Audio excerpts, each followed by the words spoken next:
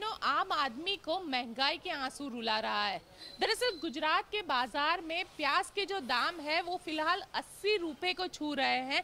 पिछले दो दिन के अंदर प्याज के जो दाम है, वो करीब बीस रुपए तक। प्रति किलो बढ़े।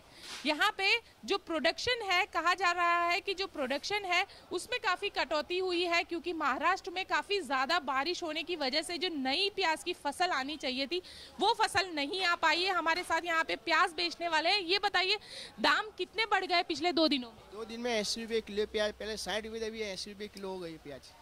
और खास वजह क्या बता रहे हैं? खास वजह क्या पाक ज़्यादा बिगड़ गया इसके लिए आने के लिए बंद है प्याज।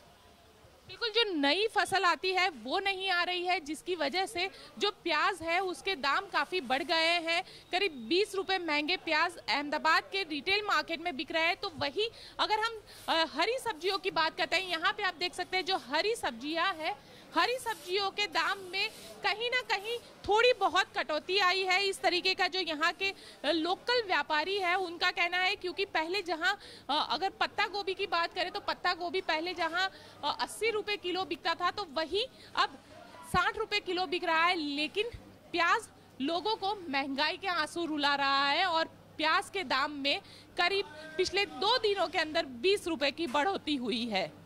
कैमरामैन साजिद आलम के साथ गोपी गांगर अहमदाबाद आज तक।